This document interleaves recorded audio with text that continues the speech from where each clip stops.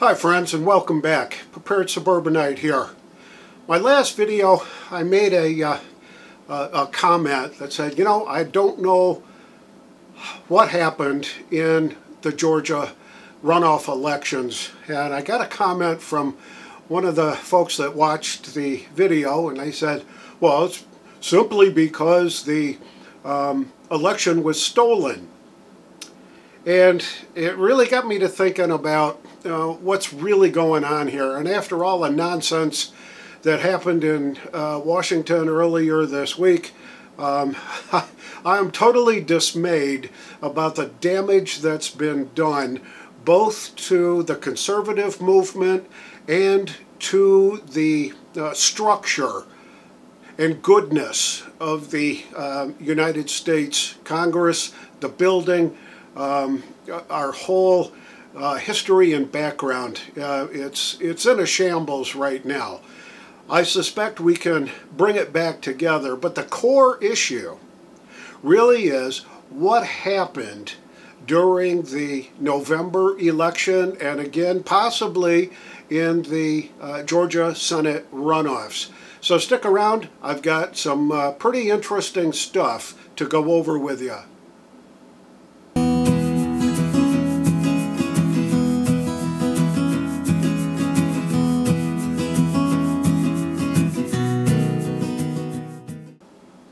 Mark Levin, uh, the great one, according to uh, certain people on the uh, uh television and uh, um, cable news networks and things, uh, the great one um, released a, a, video where he capsulized his thoughts on what really is going on.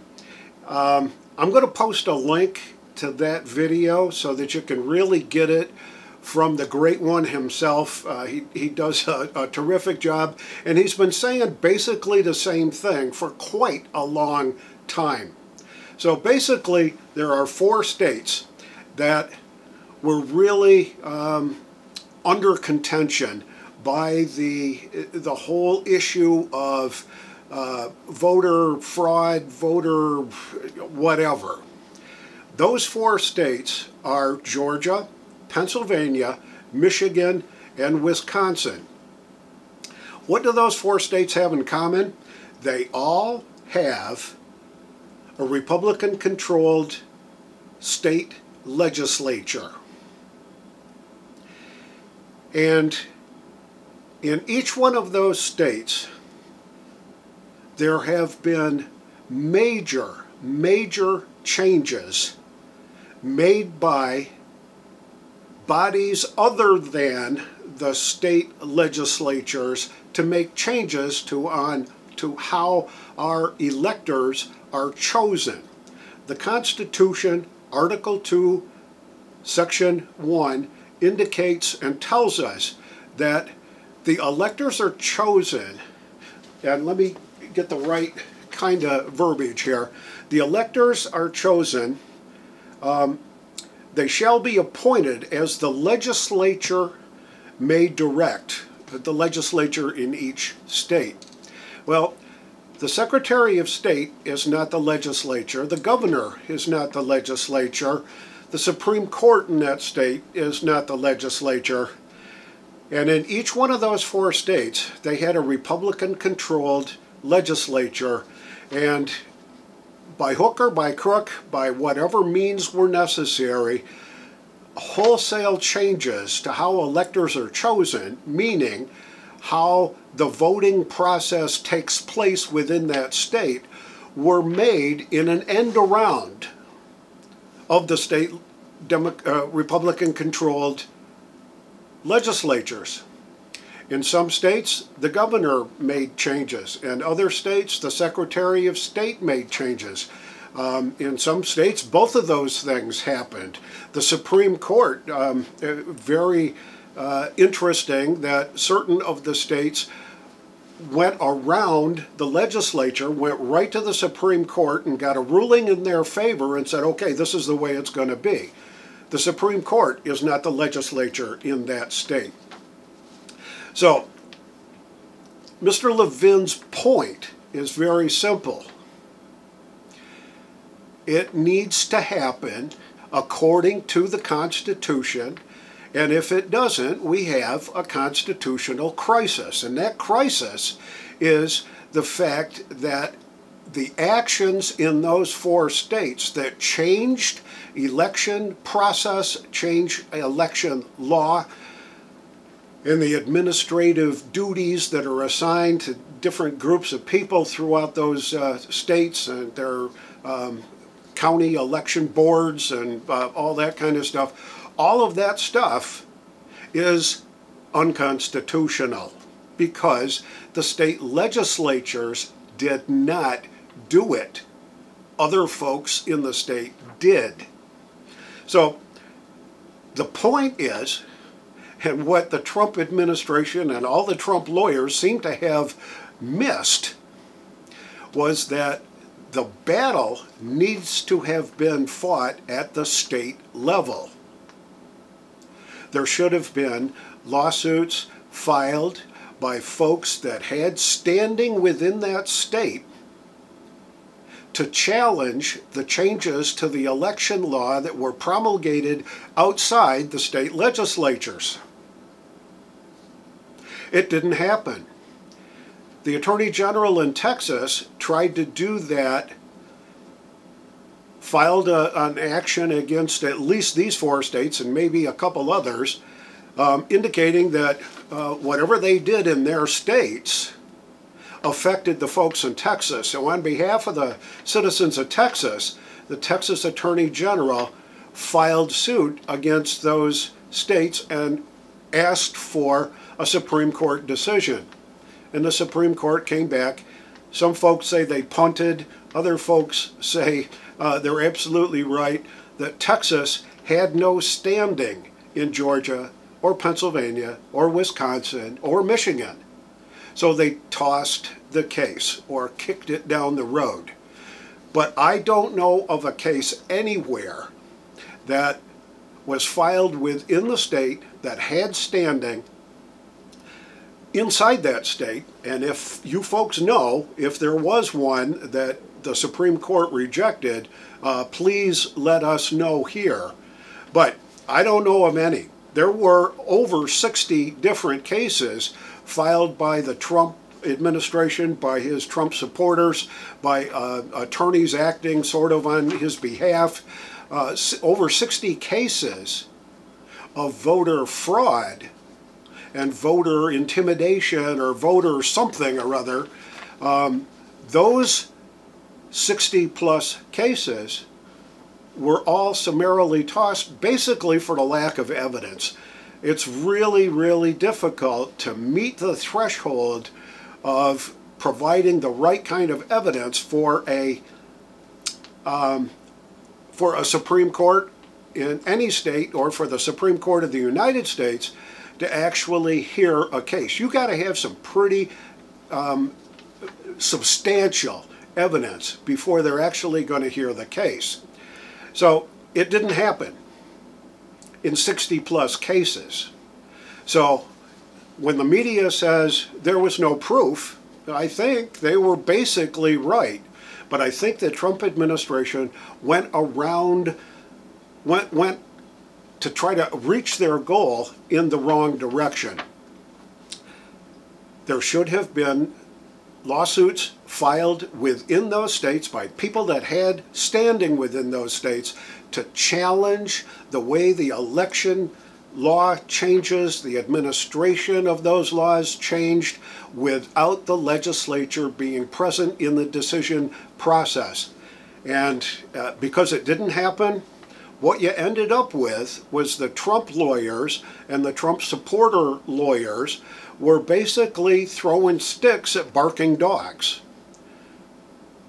Because, oh, there's there's uh, an affidavit over there that said that guy saw somebody vote twice, or there's an affidavit over there that said, hey, dead people voted.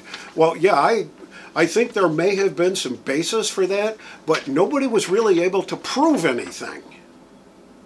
I'm not a constitutional lawyer. Um, I don't have a law degree.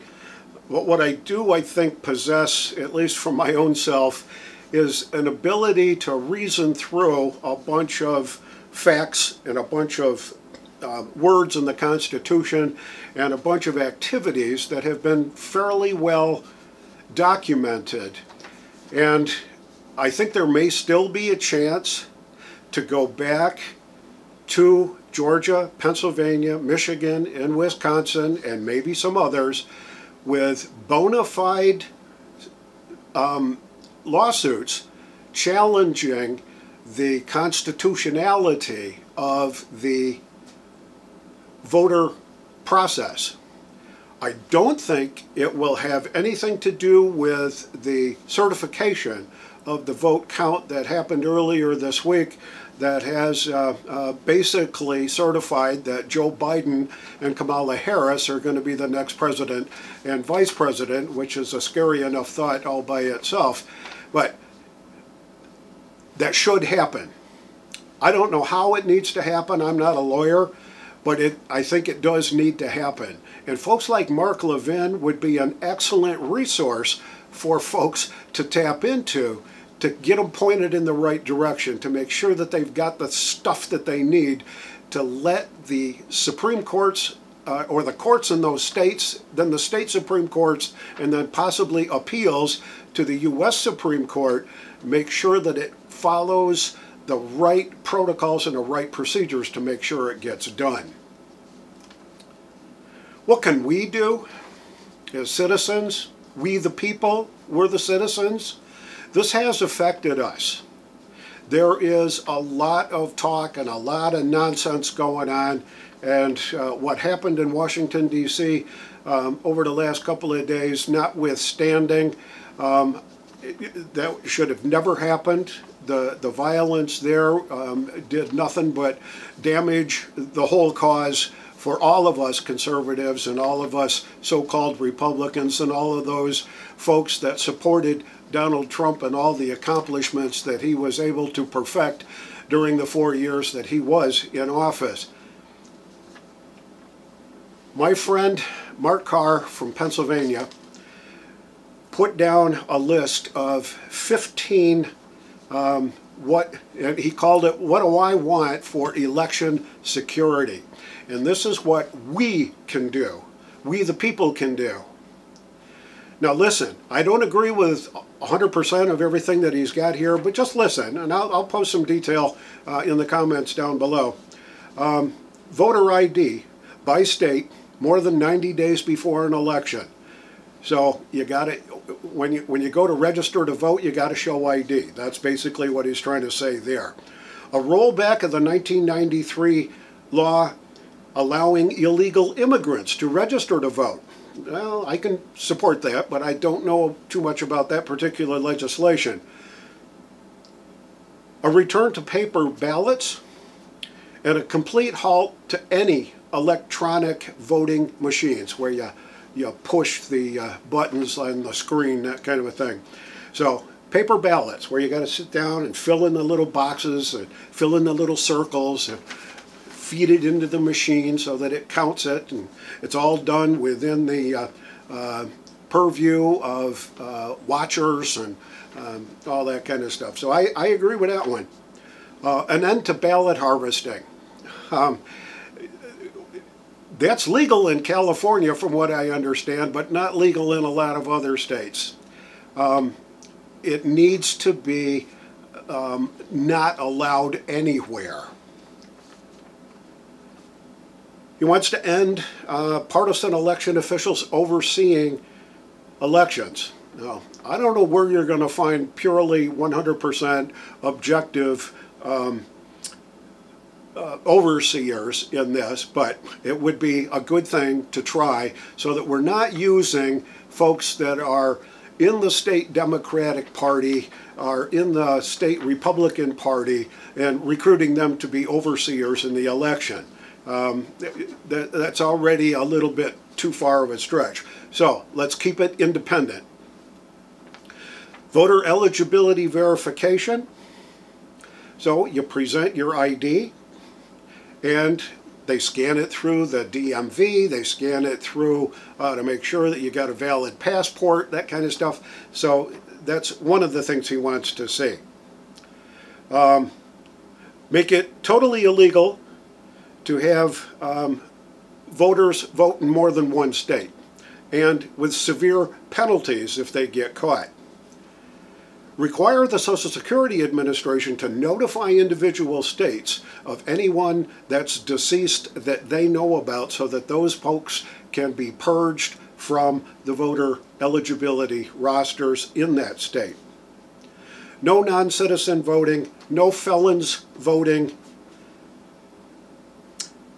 and for absentee ballots, military ballots, disabled people, that kind of stuff, um, really tight security on how all that kind of stuff happens. Registered, sequentially numbered, um, requests need to be done um, in the mail or in an email that's certified to make sure that the um, non in person voters have an option to be able to vote, but that there is a layer of security on top of that. What form that may take, I don't know.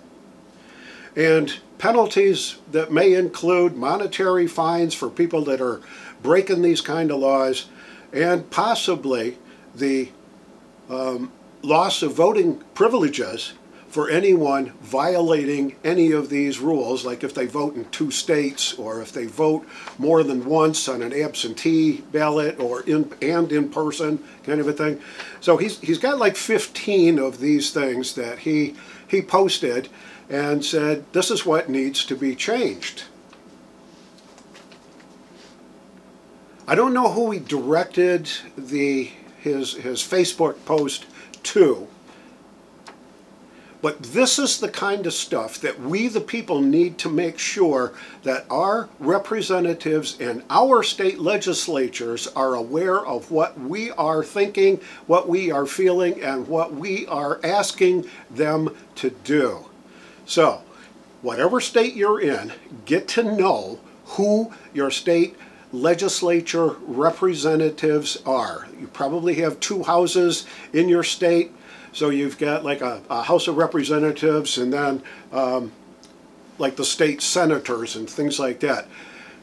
Those are the folks in the legislature. Those are the folks that need to see this and need to know how we feel about what changes need to be made to secure the voter um, voting security throughout our state. I'm from North Carolina our electoral college votes all went to, to Donald Trump, um, but for what good that did, I don't know. But there was still some questions about what and how many certain groups of people could vote, the absentee ballot stuff, the advance voting uh, in advance of election day. Uh, there was a number of questions that popped up. They weren't very serious here in North Carolina, but I would sure feel a whole lot better about things if our state legislature really took at the law, uh, took a look at the laws that are on the books in my state to make sure that everything that we're concerned about is properly addressed.